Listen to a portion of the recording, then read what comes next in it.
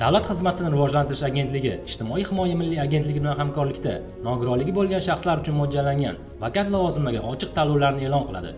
Vakant lavozimga ariza yuborish uchun davlat fuqarolik xizmati vakant lavozimlarning yagona ochiq portali vacancy nuqta argus nuqta uzga kiring kabinetga kirish tugmasini bosing. Keyingi qadamda one id tizimidan ro'yxatdan o'ting. Agarda siz oldinroq one id tizimidan ro'yxatdan o'tgan bo'lsangiz unda login va parolingizni terib shaxsiy kabinetingizga kirishingiz mumkin. Shundan so'ng asosiy sahifaga o'tib vakansiya izlash tugmasini bosing. Nogironligi bo'lgan shaxslar uchun bo'limiga o'ting. Vakant ish o'rnini tanlang hamda malaka talablari bilan tanishgandan so'ng ariza yuborish tugmasini bosing. Endi siz vakant lavozim uchun ochiq tanlovda nomzodsiz. Arizaning holatini mening arizalarim bo'limida kuzatib borishingiz mumkin.